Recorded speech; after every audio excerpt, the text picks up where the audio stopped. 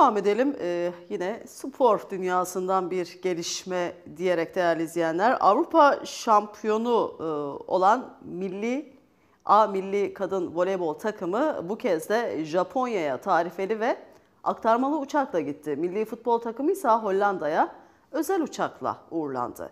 Kadın voleybol takımı final maçının ardından Türkiye'ye tarifeli uçakla üstelik ekonomi bölümünde dönmüştü.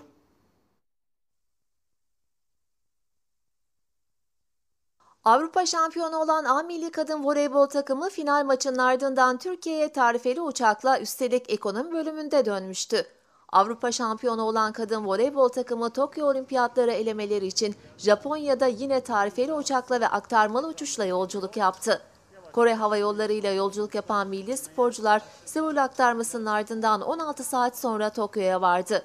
Avrupa şampiyonu kadınlar ekonomi tarifesi ve aktarmalı yolculuk yaparken A milli erkek futbol takımı ise Hollanda'ya özel uçakla uğurlandı.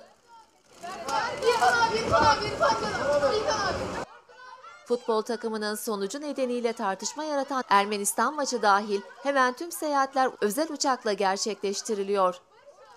Futbolcular ve teknik ekip bu kez de yoğun güvenlik önlemleri altında Hasan Polatkan Havalimanı'ndan özel uçakla Hollanda'nın Maastricht Ahen Havalimanı'na hareket etti. Bu durum iktidarın kadın sporculara verdiği değeri ve spor politikalarını bir kez daha tartışmaya açtı. Kadın voleybol takımına yapılan ayrımcılığa birçok kişi sosyal medyada tepki verdi.